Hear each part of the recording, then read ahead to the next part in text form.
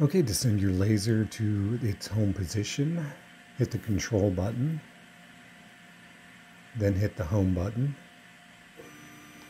and the laser will go to its home position.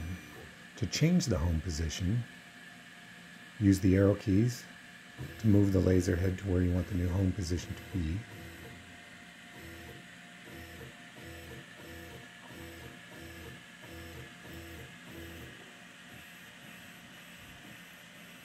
And when you've got it where you want it, hit the yellow upside down teardrop. And click yes. Now move the laser head and then hit the home button.